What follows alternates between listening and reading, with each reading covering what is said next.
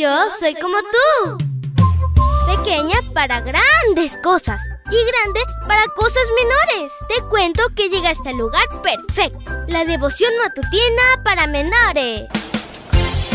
Una reflexión que se ajusta a tu edad, que te queda bien, ni muy grande ni muy chic. Adelante y bienvenido a nuestro mundo. Hola, hola mi príncipe y princesa de Jesús, que en este hermoso lunes el amor de Dios te acompañe, su presencia te llene de fuerza y puedas siempre confiar en Él. Te saluda tu amiga Linda. Y el versículo para hoy dice, no es posible que hagas eso de matar al inocente junto con el culpable, como si los dos hubieran cometido los mismos pecados. No hagas eso. Tú, que eres el juez supremo de todo el mundo, ¿no harás justicia? Génesis 18:25 y la historia se titula La oración intercesora. Abraham demostraba genuino interés por el prójimo cuando oraba por los demás. Le costaba aceptar que todos los habitantes de las ciudades de Sodoma y Gomorra fueran desobedientes. Por eso oró fervientemente suplicándole a Dios que no destruyera justos con los impíos, aunque los primeros fueran una minoría. La oración del patriarca fue movida por su amor. Su oración se conoce como oración intercesora significa orar por otros que no están presentes. Muchas veces ni siquiera saben que estamos orando por ellos.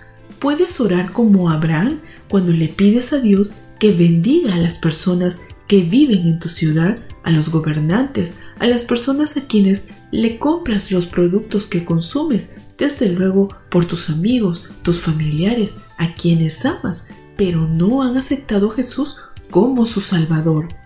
La oración intercesora nos recuerda que no somos el centro del universo, que nuestras necesidades, enfermedades o preocupaciones no son únicas, sino millones de personas necesitan de Dios también.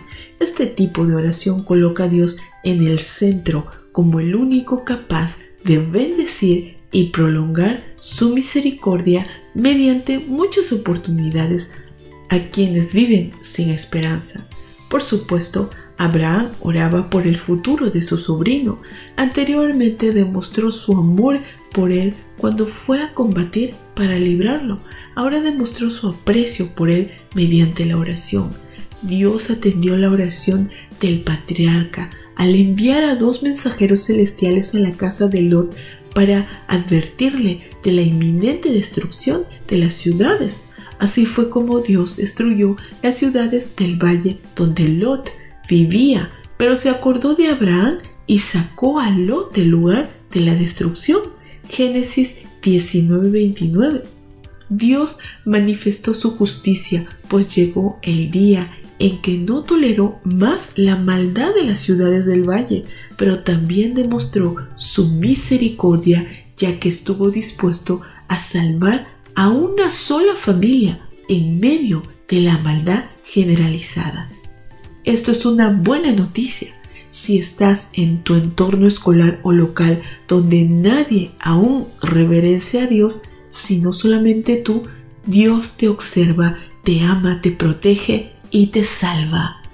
Querido Dios, gracias porque eres un Dios maravilloso, un Dios misericordioso y sobre todo nos amas quiere salvarnos. Pedimos hoy por todas las familias, por todos los niños y niñas que están escuchando, Señor, este mensaje, que tú puedas tocar sus vidas, sus corazones y también pedimos por aquellos que no te conocen, ayúdanos para que podamos hablarles de ti.